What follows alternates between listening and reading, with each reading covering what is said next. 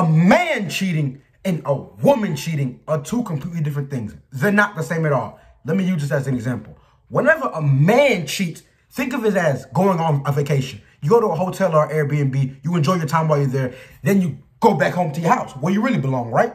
But a woman cheating, oh, it's not the same at all. It's the complete opposite. And I'm gonna explain to you why. Whenever a woman cheats, no, it's not like a vacation at all. She won't go look for that short-term rental service, that Airbnb or that hotel to go stay in for a couple of days. No, she won't. She'll go look for that whole nother house, which is another man, while she still has her house at home, which is her old man. You understand what I'm saying right there? It's not the same thing. What I'm basically saying right now is men cheat for fun, which is physical, but women cheat for love, which is emotional.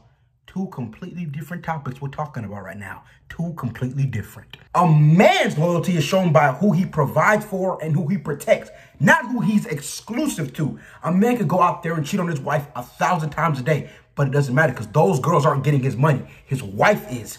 He's not protecting those girls. If someone breaks in their house, he's not going down there to protect them. But he is, on the other hand, protecting his wife. Because if someone breaks into y'all's house, he has to go downstairs and face whatever demon has entered that space. And that's what a man's loyalty is, and that's what it's always been. On the other hand, a woman's loyalty is shown by who she's exclusive to. It's shown by her giving time and attention to her man and only her man.